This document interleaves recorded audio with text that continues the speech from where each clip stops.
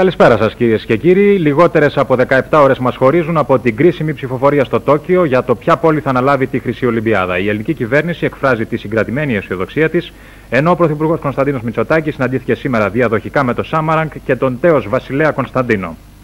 Πρωτοβουλία κορυφής από τον πρόεδρο της Δημοκρατίας Κωνσταντίνο Καραμαλή για το ασφαλιστικό. Ο πρόεδρος της Δημοκρατίας συναντήθηκε το πρωί διαδοχικά με τον Υπουργό Εθνικής Οικονομίας κ. Σουφλιά και την ηγεσία της ΓΕΣΕ. Ο κ. Καραμαλής απίφθινε παρενέσεις στην ε, συνδικαλιστική ηγεσία και ζήτησε αυτοσυγκράτηση.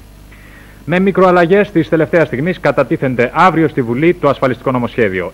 7 και όχι 10 χρόνια θα υπηρετούν στο εξής υποχρεωτικά όσοι συμπληρώνουν 25 ετία για να πιάσουν το όριο για συνταξιοδότηση. Στην 20 ετία θα συνταξιοδοτούνται οι γυναίκες που έχουν και τρίτο παιδί.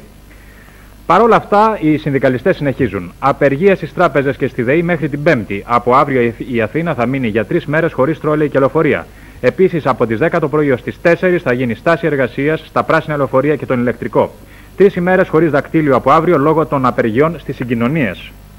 Ο πρόεδρος του ΠΑΣΟ, κ. Ανδρέας Παπανδρέου, μίλησε πριν από δύο ώρες σε πολιτική συγκέντρωση οπαδών του στο Εγάλεο. Ζήτησε από την κυβέρνηση να εγκαταλείψει την εξουσία.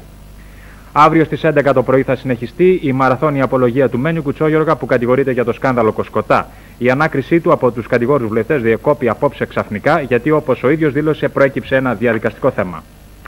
Ο αρχηγός της Αμερικανικής αεροπορίας, πτέραρχος Μάικ Ντάγκαν, απολύθηκε σήμερα επειδή αποκάλυψε κατά τη διάρκεια συνεντεύξεως την ύπαρξη σχεδίων που προέβλεπαν μαζικό αεροπορικό βομβαρδισμό της Βαγδάτης.